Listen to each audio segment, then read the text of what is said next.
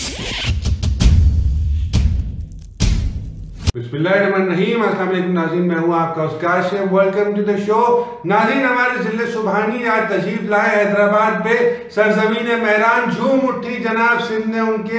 ایک بار پھر قدم بوسی ہوئی ہے ہمارے ضلع سبحانی تشریف لا کر۔ انہوں نے جو ہے وہ اعلانات در اعلانات در اعلانات فرمائے اور یقیناً وہ سڑکوں کا ایک وسیع جال بچھانے کی جو بات کرتے ہیں، وہ جال ہی اصل میں جو ہے وہ اصل مسئلہ ہے، کیونکہ وہ جال ضرور بچھا رہے ہیں، لیکن وہ آئندہ الیکشنز کے لیے جال بچھا رہے ہیں۔ اس بات کا شاید عوام کو اندازہ نہیں، بٹ نیور دریس بارہ سڑکوں کے جال کی بات ہوئی۔ گورنر صاحب وہاں موجود تھے ریسیو کرنے کے لیے۔ ان سے ایک روز قبل شرجیل انعام میمن صاحب وہاں گئے۔ جناب، ان کی کرپشن کی اتنی لمبی داستان تھی، انہیں بڑی بڑا زبردست پرتپاک استقبال ملا۔ انہوں نے وہاں کھڑے رہ کر خوب منڈ کے گالیاں دی پی ایم ایل این کی حکومت کو اور ان کی نااہلی کو۔ چودھری نثار صاحب کے والد صاحب تک وہ چلے گئے اور نواز دیا۔ انہیں نے اور بہت ساری باتیں ایسی کی جو کہ سیاست میں بہرحال ایسا لگ رہا تھا کہ پروکسی وار ہمارے دونوں سیاستدان کھیل رہے ہیں۔ جہاں میاں صاحب کو کبھی کسی سے کچھ کہلوانا ہوتا ہے، کسی کو ذلیل کروانا ہوتا ہے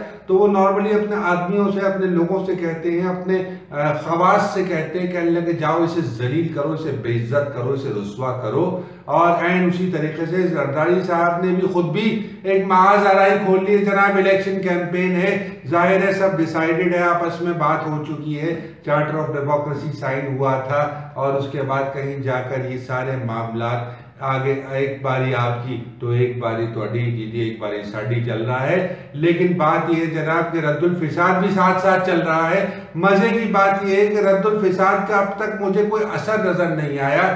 خاص طور پہ ان لوگوں پر جو فساد کی جڑ ہے۔ جی ہاں کچھ ہمارے اشرافیہ جو ہے بلکہ کچھ نہیں، بلکہ نائنٹی نائن پرسنٹ اشرافیہ جو ماشاءاللہ سے وہ فساد کی جڑ ہے اور فساد کے فائنانسرز ہیں اور فساد کی اصل وجہ ہے ملک میں عوام کو پیسنے کی، عوام کو برباد کرنے کی، تباہ کرنے کی، نیست و نابود کرنے کی واحد وجہ ہے۔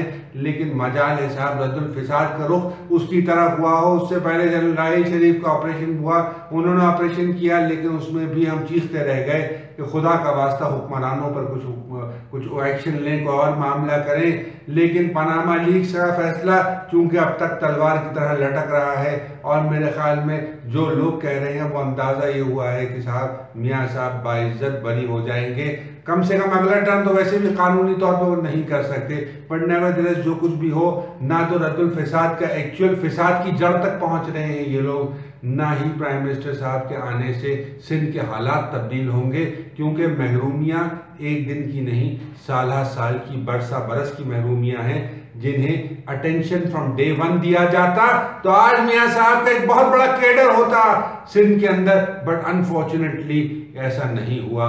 اب الیکشن کے وقت انہیں یاد آیا ہے، کیونکہ زرداری صاحب پنجاب میں کھیل رہے ہیں، وہ سندھ میں آ کے کھیل رہے ہیں، آپس میں دونوں بھائی کھیل رہے ہیں، باقی ٹیم چائے پی رہی ہے۔ اپنا اور اپنے اہل خانہ کا بہت خیال رکھیے گا، ہو سکے تو مجھے بھی اپنی دعا میں یاد رکھیے گا۔ انٹل دا نیکسٹ ٹائم اللہ نے کہ پانچ